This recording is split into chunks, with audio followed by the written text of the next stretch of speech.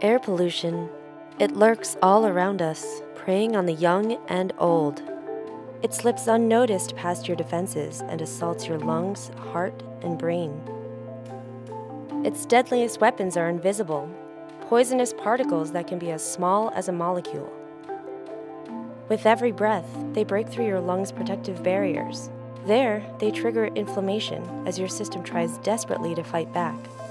But these tiny intruders penetrate those defenses, lodging toxic compounds even deeper, sowing the seeds of cancer. They slide straight into your bloodstream, sabotaging your entire body. They inflame and constrict your blood vessels, increasing blood pressure until, one day, causing a stroke. The particle prowlers dislodge fatty plaque that may have built up from your diet. They weave clots that can be deadly blockers of blood flow to your heart or brain. With each new case of heart attack, stroke, lung disease, or cancer, air pollution adds another life to its hit list. Let's stop this invisible killer.